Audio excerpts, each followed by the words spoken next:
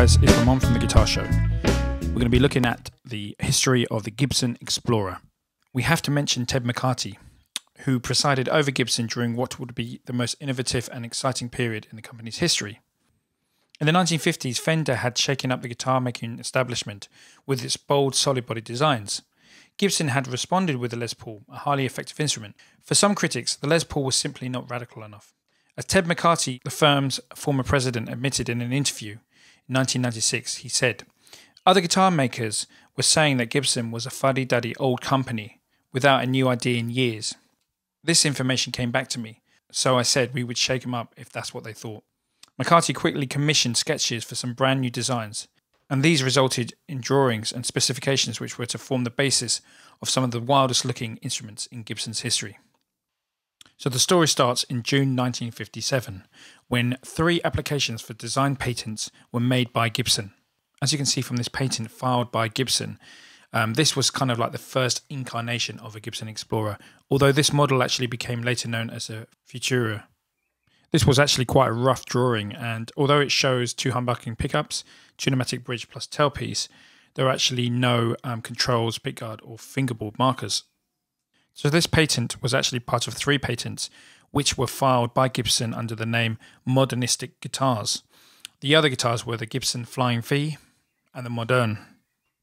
So unlike any preceding guitar, the Futura featured a dramatic angular body shape. Its heavily extended treble horn counterbalanced by a similar protrusion at the opposite corner of the body. The headstock design was also unusual. Its headstock was V-shaped and housed three tuners on each leg. Gibson first showcased their new Futura guitar at the 1957 NAMM show. In this photo, we can see a Gibson employee showcasing this new guitar known as the Futura. It looks to me as if it was a dummy guitar with no controls, so it was probably just used to gauge um, people's opinion. Interestingly, a gentleman by the name of Linhof turned up with a genuine 1957 Gibson Futura prototype in San Antonio, Texas in the mid 1970s. It was owned by a blues musician named Ponte Guitar Gonzalez Jr., who used it as a decoration in the back window of his customized Cadillac. When Linhof found the guitar, it was stored outside Ponte's house in a hefty trash bag. The guitar's body was made of korina and turned nearly black by the heat and the sunlight. The neck was made of mahogany. It had no Gibson logo on the headstock, and the glued on pickguard had no screw holes. It was in horrible condition, but it was a real thing. So Gibson actually only made a few of these guitars, possibly only four or five. And these were made between 1957 and early 1958, using firstly mahogany and then later korina. The Flying V went into production around April 1958. The Moderne did not actually go into production, and the Explorer started to be produced around July 1958. Both the Flying V and the Explorer were first listed at $257.50. Fitted cases were $75. The delivery terms for an Explorer were 60 days as opposed to 30 days for a Flying V. Less than a year later, both the Flying V and the Explorer were withdrawn from the Gibson catalogue. According to Gibson records, only 22 Explorers were shipped between 1958 and 1959. Although the modernistic guitars were actually a spectacular failure for Gibson, in terms of publicity derived from the project, um, it was actually probably worth the expense in retrospect. Several Flying Vs were bought by dealers in the late 50s to be hung in the shops as an attraction rather than to be sold to customers, and quite possibly that could also be the case for the Explorer. At $247.50, this put it exactly the same price as a Les Paul Gold Top. And interestingly, a Fender Stratocaster was actually more expensive at $274.50. Let's talk about the Korina wood. It's actually an American trademark for a West African hardwood. And this wood is usually known as limba or African limbawood. It's uh, comparable to mahogany because of its average weight and its tonal characteristics, but it's from a different species and family, and I personally would say it's got a bit more high end when compared to mahogany. Gibson actually delayed the launch of the Explorer because it had to make some modifications to the original Futura prototype. Those modifications are pretty obvious to see. It's got a slightly wider waist. I think it's a bit more pleasing to the eye than the Futura. For construction, it used a Korina body and neck and had a white, black, white plastic pickguard, 22 fret rosewood fingerboard with dot markers, and a scale length of 24 and 3 quarter inches. A control layout of two volumes, single tone, a pickup selector, and of course Gibson's two humbucking pickups. Gibson actually made at least one Explorer with the split V headstock, um, which was retained from the earlier Futura design. But after this, all the headstocks had this kind of hockey stick drooping sort of headstock. And this could have been a nod to Fender's style of headstock.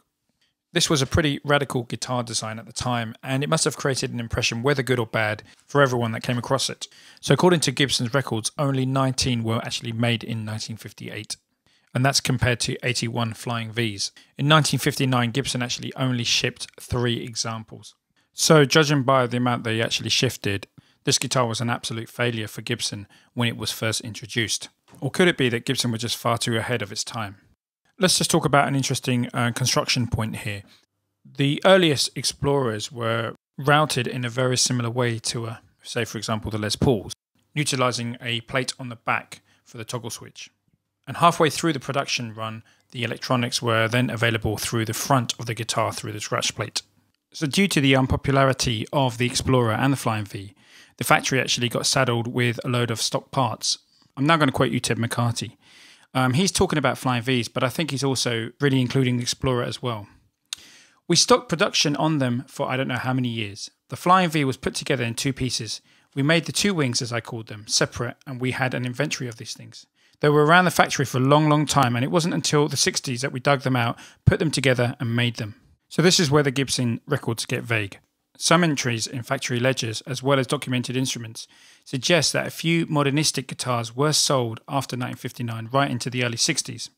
At least one Explorer bass was built from bodies held in stock and fitted with an EBO style pickup and hardware. So, although all these post 1959 Explorers do not show up in factory shipping totals, they do actually exist.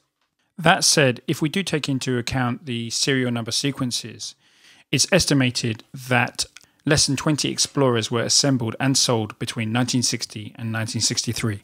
The Explorer was eventually reissued in 1975, although it had a mahogany body instead of a korina body. At this time, Gibson made the claim that only 38 originals were built in the late 50s. Okay, guys, let's talk about some notable Gibson Explorer players. I don't know about you, but the first person that comes to my mind is Eric Clapton. So Eric purchased this guitar from Alex Musical Instruments in New York in the early to mid 70s. It's believed to have been made in 1958. One of the main uh, features of this guitar is that it seems to have a shortened bass bout, and uh, Clapton actually believed that this was a result of it being a prototype guitar. When he found out that it had actually been modified, he was um, not happy about that and tried to return it to the guitar store. He used this guitar on the album EC Was Here, which was released in 1975. Possibly this guitar now resides in a private collection in Japan. Eric actually owned a second 1958 Gibson Explorer, serial number 84541. Eric said that he bought this guitar via his manager, Roger Forrester, from a fan in Austin, Texas in 1983. He has used it on stage and is photographed playing it during the Arms concert at the Royal Albert Hall, London, September 21st, 1983. So, Rick Nielsen of Cheap Trick is another guitar player synonymous with the use of Explorer type guitars. And according to himself, he actually owns a pair of these and is the only person to do so in the world. In 1990, he bought his first one from the Dallas Guitar Show. The second, which is a more beat up Explorer, which is the favourite of his two, he bought in 1981 from Larry Briggs at Strings West in Tulsa, Oklahoma. That guitar has a neck joint repair that you can see at the heel or if you look into the neck pickup cavity. The next Explorer player is Allen Collins from Lynyrd Skynyrd. And uh, I remember listening to them when I was really, really young and just loving um, Collins' tone. It was just really, really exciting. Um, basically, he got hold of a 1958 Gibson Explorer in 1976. He bought this guitar for $3,000 and used the guitar throughout his tenure with the Allen Collins Band. Now, there's a few folk on the internet that are saying that he bought it from Eric Clapton. And whilst this could possibly be true, I don't think it is because, let's face it, Gibson Explorers were really, really rare. There was only like 90 made in 1958. So Clapton just having one would have been a really rare thing. Eric's guitar had, of course, been modified in the lower bout. Collins' Explorer was an unmodified guitar, and it came with a Maestro Vibrola fitted as well. So, lastly, another great player who used a 1958 Gibson Explorer was Rick Derringer. Apparently, this guitar was sold to him by George Gruhn, and originally it came with silver capped 60s knobs and nickel hardware.